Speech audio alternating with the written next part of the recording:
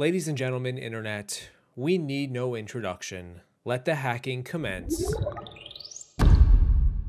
Given we are now at 5.0, I gotta say this first hack has been mentioned a lot, going as far back as 1.0 in this video series, so it's about time we talk about it. Many Survivor challenges involve bottlenecks, where tribes are forced to clash by design, and never has that been more of a case than in the Attack Zone Challenge, first introduced in Season 5 Thailand, but later reiterated with Season 8 All-Stars. And it's the All-Stars variant that we're going to be talking about in this video. This challenge involved players racing across balance beams to grab flags on the other end. Each tribe had two players on the beams at any point in time, and it all came down to, you guessed it, speed and balance. Your tribe needed 20 flags to win, but the catch was that if you ever found yourself bottlenecked face to face with an opposing tribe member in the middle, the two of you would enter the attack zone, where you would need to wrestle your opponent off the beam. First in the water has to restart the course while the winner can keep going. Throughout the challenge, it became apparent that one player was leagues ahead of everyone else, both in speed and balance, but really just speed. Boston Rob. Boston Rob was so fast, he would just dart from one platform to the next like he was floating on air. Compare that to his teammate Rupert, who I'm not even sure made it to the halfway point at any point in time in this entire challenge,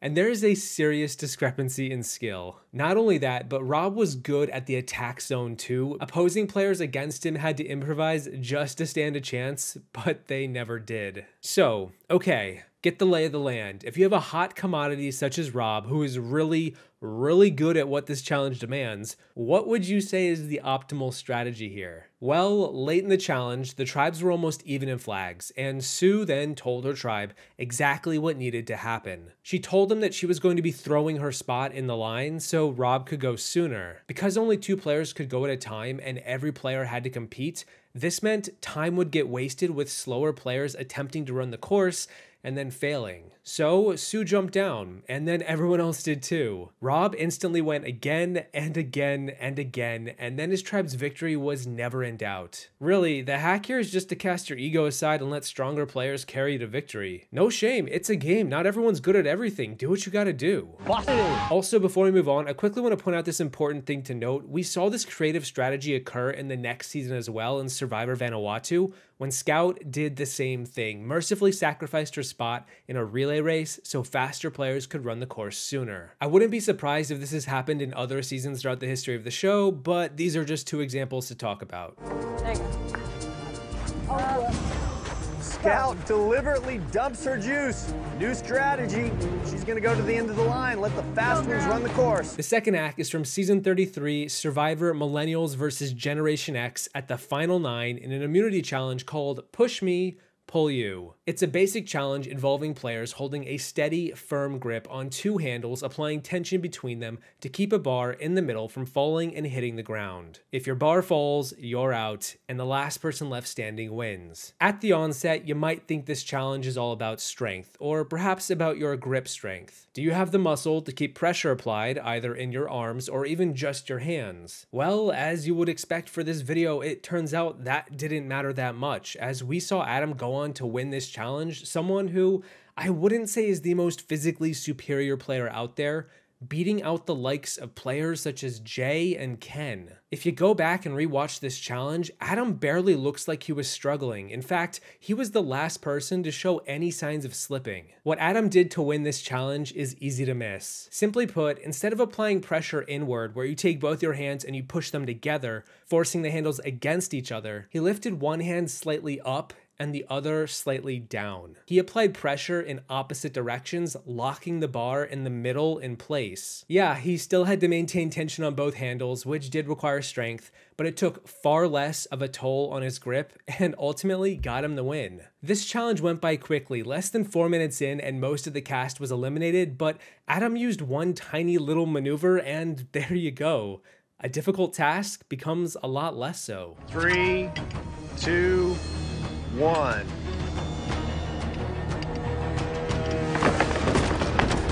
And this challenge is on. You start to feel your hands shake a little. David is the first to drop. It looks so easy watching it. Will drops out of nowhere. You just let up for a moment. That tension release And that's what happened to Brett. That is the key. The right finesse. Jay, Ken, and Adam fighting for immunity. Jay with his first movement, but a nice recovery. You have been out here only four minutes. And I know it seems like a lot longer. Adam still solid.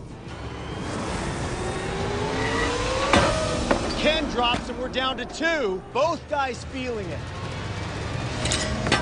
Jay drops, Adam wins. Individual immunity will live to see day 34. I think that I won that challenge not because I was the strongest at like grip strength or whatever, uh, but because I think I figured out the best way to do it that that other people just didn't figure out. Everyone else was just pulling straight out. I pulled the bottom and pushed at the top, and it sort of locked it into place. So I think I could have gone uh, for for a while there. Cause and effect. The domino effect. The third hack is from the final eight of season 17, Gabon, and it involves the video game player Kenny switching up a strategy out of the gate to fall behind early, but eventually go on to take the lead and win the challenge. We've seen this concept talked about in previous videos in this series. A player takes a different approach at the start of a challenge and appears to be in last, but then as the challenge progresses, it turns out that early choice to do something different would put them ahead and ultimately get them the win. This challenge involved players stacking a trail of dominoes across a beam laden with tripwires that, if tripped,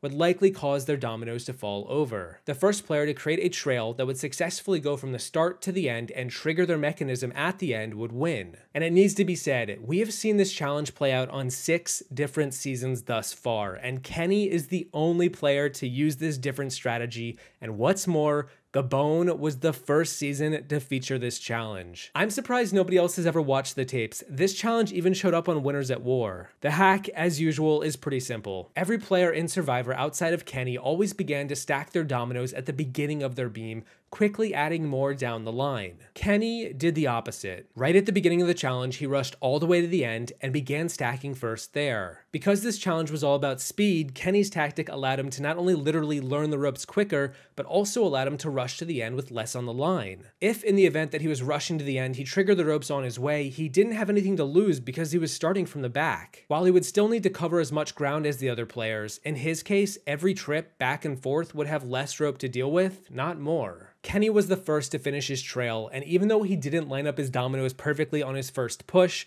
he still went on to win the challenge. His unique tactic put him behind early, but eventually proved to be the superior strategy. Matty, Corinne, starting at the front. Kenny moving to the end, working his way backwards. One wrong move on those trip ropes could knock over everything you've built so far. Do not panic. Take your time. Matty seems to have the early lead. Matty has a bit of a lead. Kenny coming on strong now. Suddenly, Kenny's nearly complete. Jeff, I got it. Kenny's gonna give it a shot. Kenny's looking good. Go, go, go. Kenny wins immunity. Idle hands make for the devil's tools. Hack number four is all about being first to the punch and not being afraid to go all in. Defense may win championships, but guess what? The offense does too, and quite frankly, it's way more fun if they do. Episode 5 of season 25, Survivor Philippines, involved a reward challenge where players had to hold a paddle with an idol resting on top and then attempt to knock off their opponent's idol before their opponent did the same thing to them. It was a 1v1 winner take all, get in the mud, get in the pig pen, and just do your best to clobber your opponent. It was a game of chicken, although not with the chicken idol. You had to defend when your opponent struck and eventually strike when you best felt you could catch your opponent off guard. And then, of course, cue me saying, or so you would think.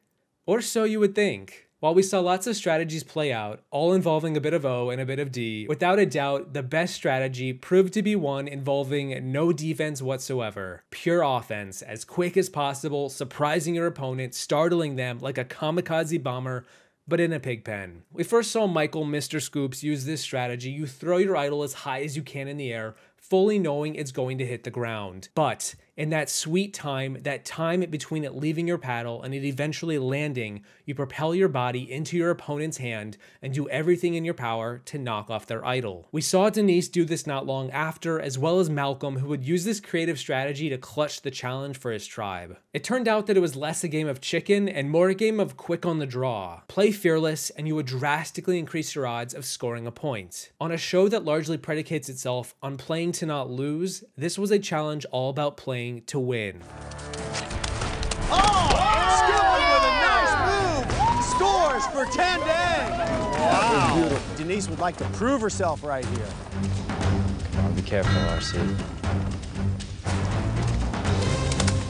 Denise with a nice job. Kalabaw scores. Malcolm could make himself very popular, bringing home the reward for Tandang.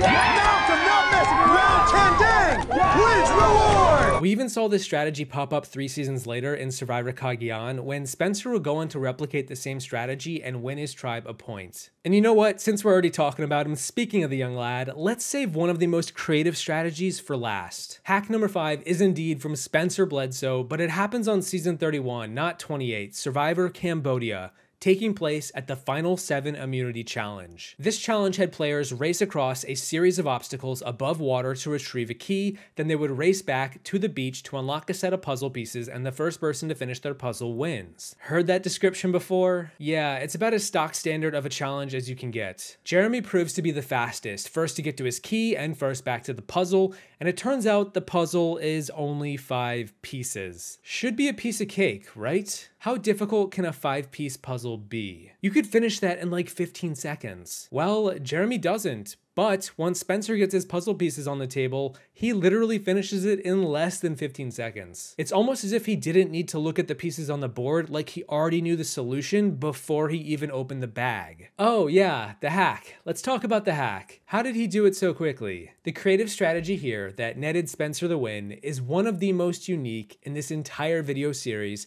It might be the most, and dare I say it might be the most in the history of Survivor. Prior to going on season 31, Spencer reviewed the tapes and rewatched the latest season, season 30, the one right before, Worlds Apart, and noticed how, in the very first challenge in the first episode of that season, the tribes were presented with three different puzzles and they could pick which one they wanted to do a 50 piece puzzle, a 10 piece puzzle, or a five piece puzzle. For whatever reason, neither of those three tribes chose the five piece puzzle, which meant it went unused and never made air, which meant Spencer took note of this and considered the possibility that it might return in a future season. So upon rewatch, he froze the frame, outlined the puzzle, memorized exactly how to put it together, and then skipped off to compete in season 31 Survivor Cambodia. And what do you know? There was the exact same unused, unaired five piece puzzle from the previous season. I love this creativity, the depths it took to watch it pan out. Props to Spencer, and may I say to any other Survivor superfans out there who may have picked up on the producers reusing old challenges. I'll just reiterate that every detail counts, utilize everything you can within reason to get ahead. You are not out of this challenge because there is no working closer and closer.